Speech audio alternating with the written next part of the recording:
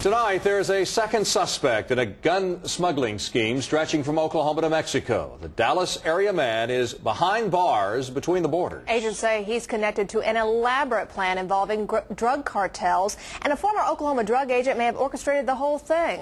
Rusty Surrett has the new developments. Rusty? Well, agents have been hinting for some time now that more arrests were possible. Well, tonight we know that a Dallas area man is behind bars for his alleged role in this plan to get high-powered rifles from the metro to Mexico. Court documents show Francisco Javier Reyes, a former agent with the Oklahoma Bureau of Narcotics, had plenty of help getting dozens of weapons from gun shops across Oklahoma to his downtown Oklahoma City apartment and then on the road to Mexico. From there, agents say the weapons were likely to go into the hands of dangerous drug cartels who've killed thousands in drug related violence.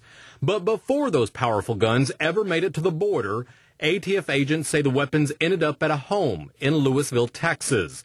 That's the same home agents raided this week and arrested Gregorio Martinez Morales, a 35 year old who investigators say played a significant role in the whole operation.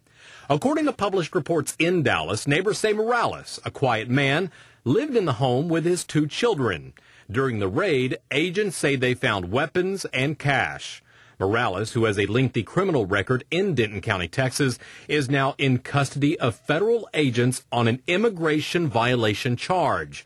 A spokesman for U.S. Immigration and Customs Enforcement says Morales is being processed for deportation back to Mexico but refused to release any more information regarding the arrest. Meanwhile, Reyes remains at his apartment under house arrest, waiting for his next court appearance.